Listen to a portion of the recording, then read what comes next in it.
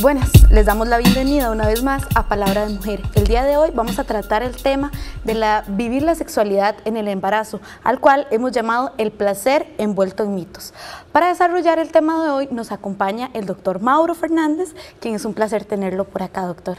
Hablar de un tema tan bonito, hablar del milagro de la vida, el milagro más grande del mundo, que es el embarazo conjugado con la otra variable, la sexualidad, magia pura. De manera que son dos temas que se reúnen en una temática llena de tabúes, pero llena de sorpresas. Sí, claramente. Entonces, para introducir un poco, un poco el tema, eh, sabemos que la sexualidad, desde ya su mención de por sí sexualidad está eh, cargada de estigmas, de, direccionales, de cómo debería de vivirse. Ahora, si tomamos el tema de vivir la sexualidad durante el periodo del embarazo, ¿verdad? Encontramos una serie de distorsiones aún más grandes. Entonces, consideramos que para iniciar con el tema es importante, ¿qué entendemos por sexualidad, doctor? Bueno, clásicamente los teóricos nos hemos llenado la boca diciendo que son los aspectos biopsicosociales en torno, y decimos esto y aquello. Pero para ser mucho más claros, tendríamos que decir que la sexualidad es el acto sexual y todo lo que conlleva la atracción, lo social, el que dirán, la preparación mental, si me siento feo, si me siento bonita, si me siento bonita a lo largo de los nueve meses. Sí, los cambios que ocurren en el embarazo van acorde con el estereotipo de belleza vigente. Por ejemplo, en los 60 estar pasadito de peso era belleza igual en los 50. Hoy que las mujeres, el estereotipo de ser escuálidas, como que el embarazo atenta contra esa autopercepción, esa percepción propia que hace la mujer de todo el curso de los nueve meses. Digamos que todos esos factores es los que hoy entendemos como sexualidad, siendo mucho más amplios que la relación sexual de manera puntiforme. Sí, porque estamos delimitados y, y yo creo que es algo muy cultural el hecho de que la, la sexualidad se delimita solamente al, al, acto del coito y de que todas las caricias y esa, esos momentos de, de, sensibilidad sean, se, se, pierden del hecho de centrarnos en el coito. Entonces, en el momento en que la mujer queda embarazada, el hombre entra como en ese periodo de veda, y tanto la mujer como el hombre en ese periodo de veda, de que no vamos hasta luego de los nueve meses, que era una situación, ¿verdad?, que podemos observar en, en décadas atrás, de por qué posiblemente sea, sea el protagonista de que tantas señoras quedaran embarazadas en cuarentena, claro, ¿verdad? La, la pobre señora terminando de dar a luz y tenía que responder a las satisfacciones de él. Diríamos que aquí hay una variable aún más, cuál es que nos costó a nosotros a toda la población entender que las madres tenían sexo. Las madres son puras y santas, por eso inventamos la cigüeña, para decir, no es que mamá tuvo relaciones sexuales, por eso dijimos que venían de París o que nacían en los repollos. Era una forma de quitarle la sexualidad a otro gran, a una gran institución que es la maternidad.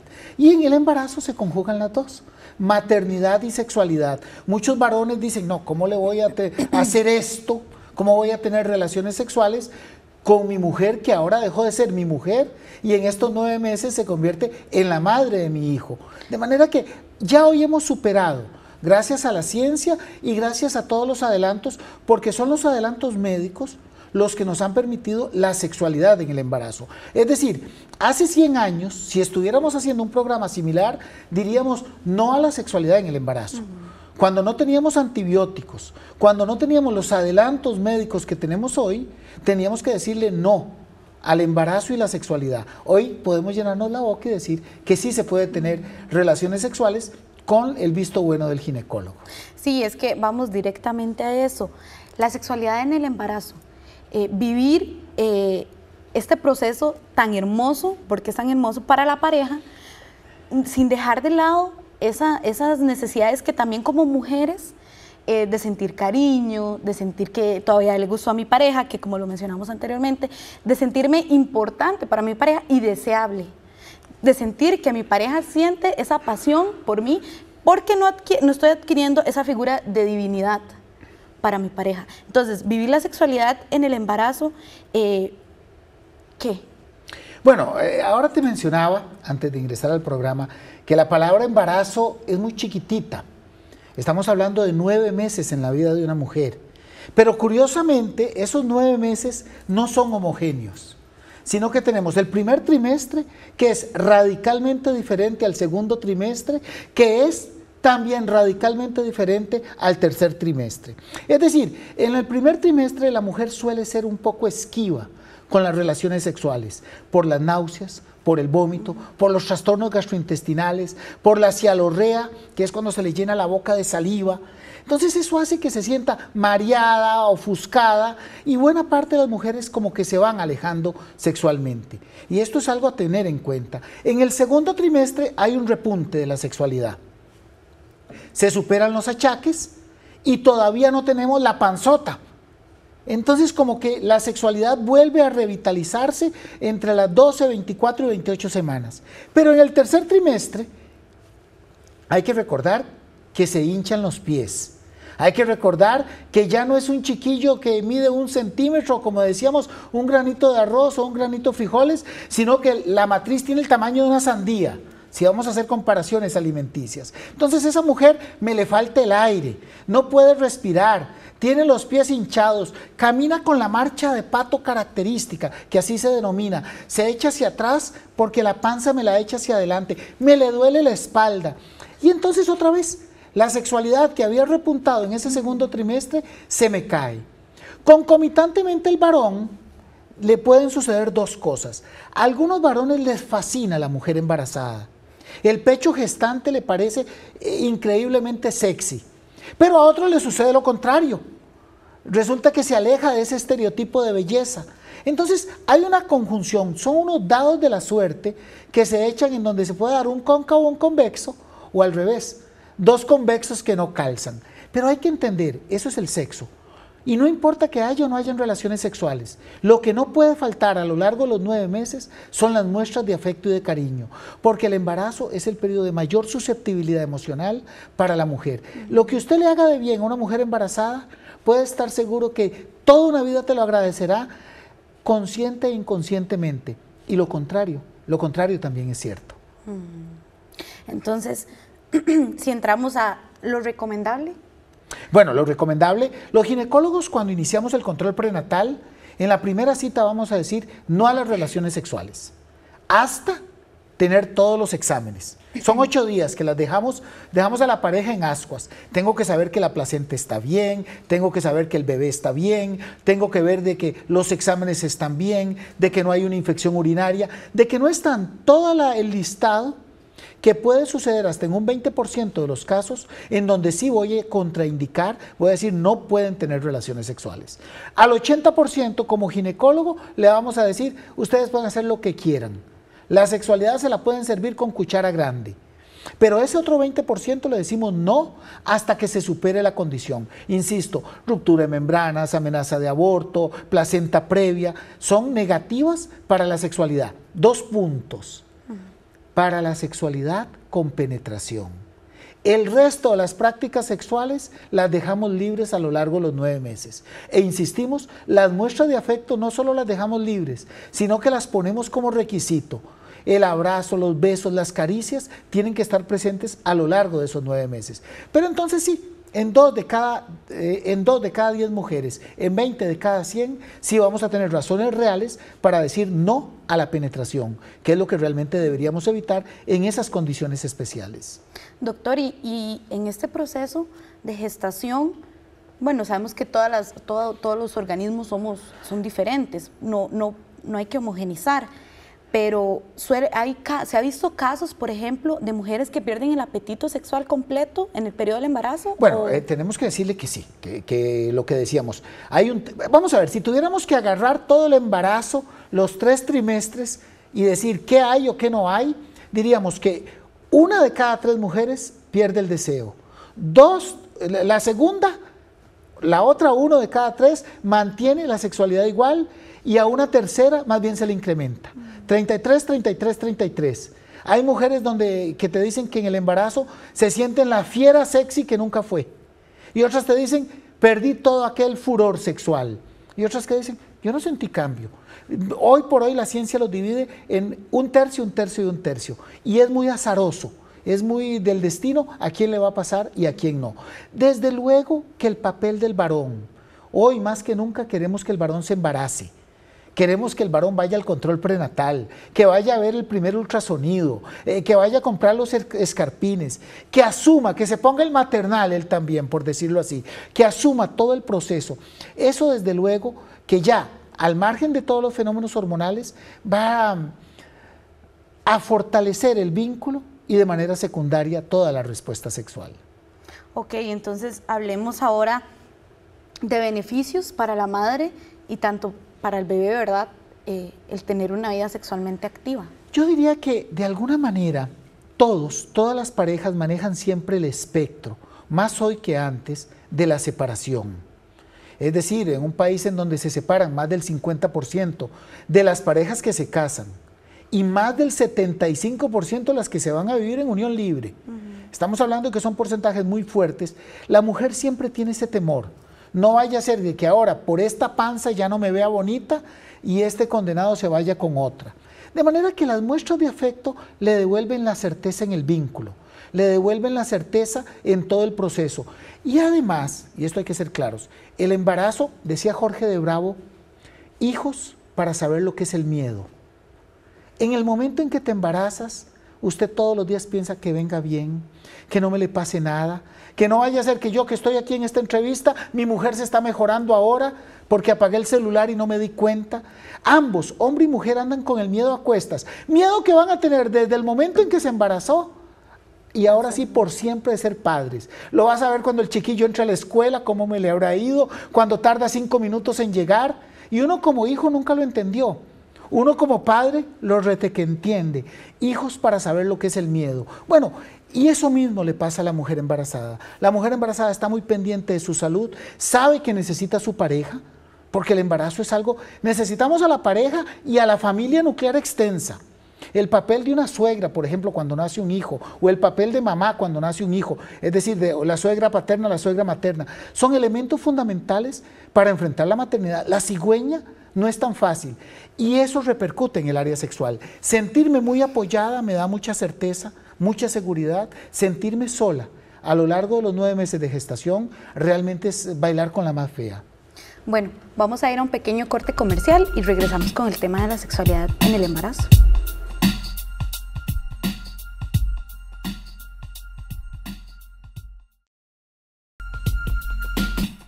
Bueno, a mí me parece que el embarazo debe ser visto como un asunto absolutamente natural de la vida, no debe ser visto como, como un estado de enfermedad, más bien todo lo contrario. Entonces la sexualidad tendría que ser también algo natural en ese periodo.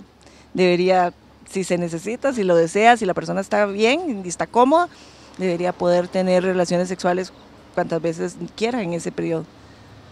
Durante el embarazo. Es normal, sí hay que tener otros cuidados, hay que también respetar más a la pareja en su, deseo, pero pienso que continúa. No, que en mi, opinión en las nuevas generaciones, como mis hijas y algunas otras jóvenes si, si consideran bien eh, por su salud y por todo mantener su sexualidad para tener una vida mejor en pareja y, desarrollar su embarazo con, bien, me parece que es correcto. Y no sé, me parece que la mujer este, le hace falta el, cariño de la pareja, ¿verdad? Y, me parece que eso es bueno para la salud emocional de la mujer. Siempre y cuando no merite un riesgo para el bebé, me parece que esté bien. O sea, y que la, pareja tome en consideración incomodidades o, o, respetando qué es lo que quiere la mujer también, porque tal vez a nivel físico no va, no va a ser lo mismo ni, ni nada de eso.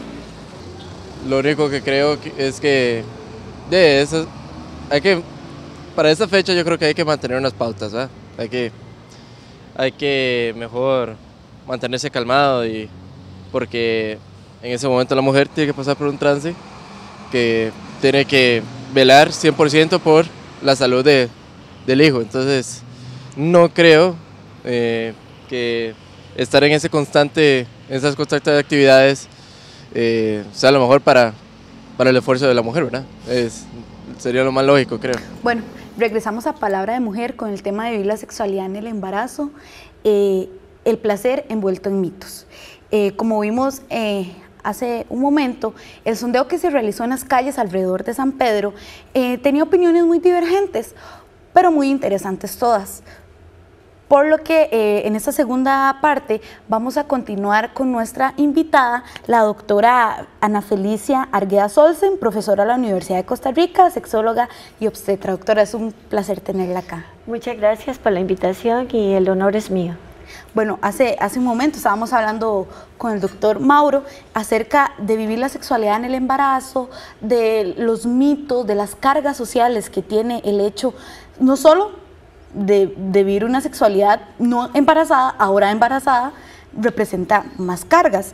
Eh, entonces, eh, para usted, en, en este momento, eh, para retomar un poco, beneficios de vivir la sexualidad en este periodo de gestación para las mujeres y para el bebé? Bueno, hay una cosa que no podemos olvidar y es que el ser humano tiene una historia sexual. Entonces no es porque estoy embarazada que yo voy a cambiar, sino que hay muchas particularidades. Creer que podemos generalizar es muy difícil. En realidad la particularidad hace el desempeño tanto de la parte íntima como de la parte este, activa de la sexualidad. Entonces, cuando uno piensa, eh, bueno, es una mujer embarazada, pero primero fue mujer, antes del embarazo. Y esa conducta que ella tenía como mujer durante, durante su vida cotidiana puede que repercuta igual estando embarazada y después del embarazo. Porque no se deja de ser quien es, solo porque estoy embarazada o no estoy. Entonces, ese ser humano lleno de mitos, de creencias, de digamos que procesos eh, espirituales diferentes, hacen de este ser humano un gran arco iris de experiencias para mostrar a su relación de pareja. Desde el punto de vista clínico, me imagino que el doctor Mauro lo tocó también, desde el punto de vista clínico puede tener muchas ventajas.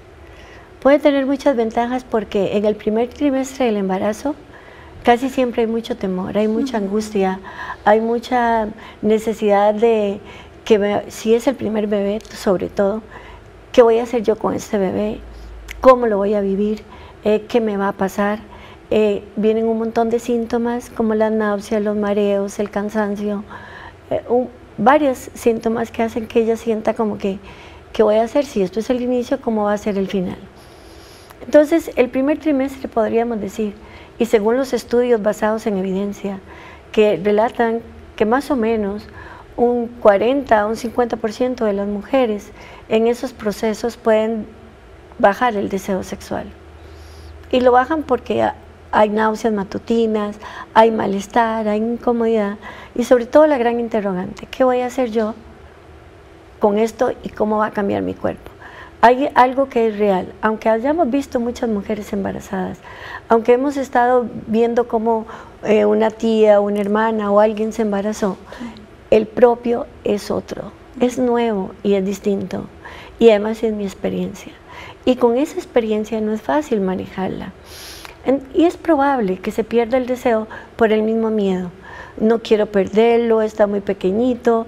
Y esos mitos de que si tengo relaciones coitales, de pronto afectan a los bebés. Y eso ha sido en toda la historia del ser humano, no es ahora ni antes ni después, siempre se pensó así.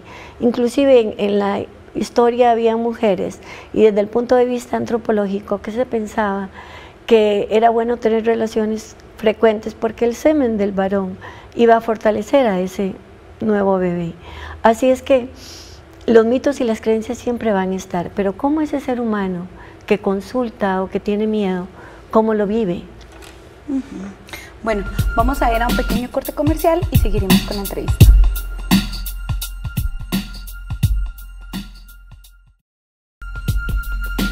Bueno, continuamos en Palabra de Mujer con este tema tan interesante y tan enriquecedor y esperamos que sea mucho provecho para las personas que nos sintonizan. Doctora, eh, posiciones sexuales recomendadas para la mujer. Es una época muy linda porque las mujeres pueden, junto con sus parejas, practicar lo que nunca han practicado. Entonces, como te decía anteriormente, el primer trimestre puede que se pierda el deseo, pero en el segundo trimestre ya hay más libertad, ya no tengo tantos síntomas de incomodidad, que el cuerpo ya se adaptó a las hormonas, a los cambios hormonales, y también la mujer se va adaptando a los cambios corporales. Entonces, en ese momento, a veces ellas piden más a la pareja, bueno, yo, yo quiero tener más relaciones coitales y, y además quiere asegurarse de que a pesar de estar embarazada, si le gusto a, este, a mi pareja, mi pareja no ha dejado de desearme. Entonces en ese segundo trimestre hay una gran eh, oportunidad para inventar, para crear cosas nuevas. Y es también la gran oportunidad para conocer posiciones diferentes. Eh, la posición que le llama a todo mundo de misionero, que es la mujer abajo y el hombre arriba, en algunas ocasiones, conforme va desarrollándose el embarazo, puede presentar cierta incomodidad. Entonces, este, uno les dice, bueno, tal vez de medio lado puede favorecer este, que utilicen una silla, que él esté sentado en la silla y, y que ella sea como la que decida qué tanto, en qué momento me puedo este, estar teniendo una este, una introducción del pene o qué tanto lo quiero tener adentro o menos, o qué es lo que deseo y que ella, de acuerdo a lo que va sintiendo, lo va aceptando. Y esa es la gran diferencia, en que entre los dos puedan cultivar formas de actuar diferentes, porque eso es lo que haría linda la relación, porque es demostrarse constantemente, me gustas, te amo, eres importante para mí, este, me siento muy bien contigo y ahora estamos compenetrados los tres. Y eso lo vi mucho en los cursos de preparación para el parto que en más de una ocasión he impartido, donde yo les digo a las parejas, siéntese como en una posición de Buda, uno frente al otro y con el bebé en medio y que ahí salga lo que salga, ¿no? Pues en el proceso de, del curso de preparación es simplemente aprender a relajarse, pero ya en un proceso de intimidad que les permitan como tocarse, acariciarse y pensar en que ya no somos dos, sino somos cuerpo, mente, alma y espíritu con, con algo que está saliendo de los dos, algo que es producto de ese amor y de esa entrega como es un hijo.